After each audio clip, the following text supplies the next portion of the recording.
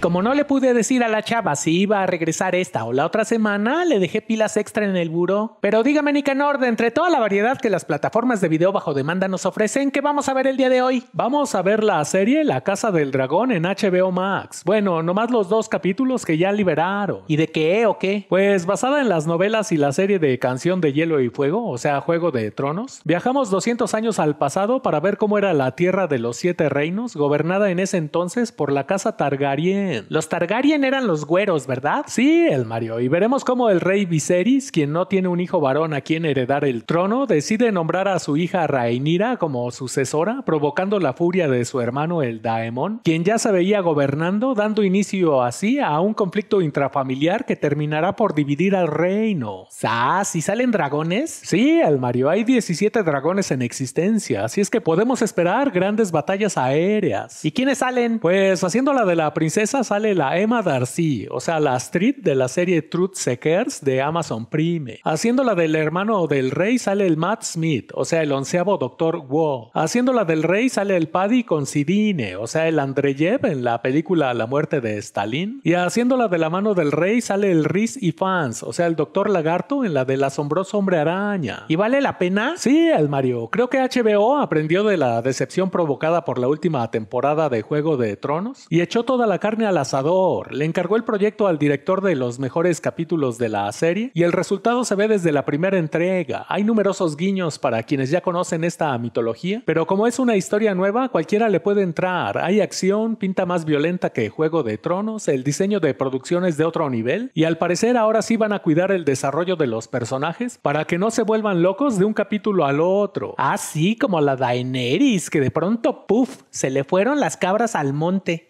¿Y cuántos capítulos son? Van a ser 10 en esta primera temporada con estrenos dominicales y también arrancó que los ejecutivos ya autorizaron la producción de la segunda temporada. ¿Y cuánto duran? Una hora más o menos. Va, va, va. Daré el salto de fe. Púchela al play pues. Va.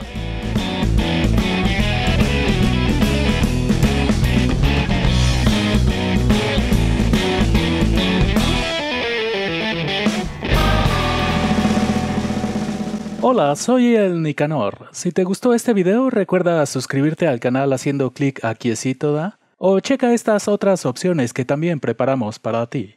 Gracias.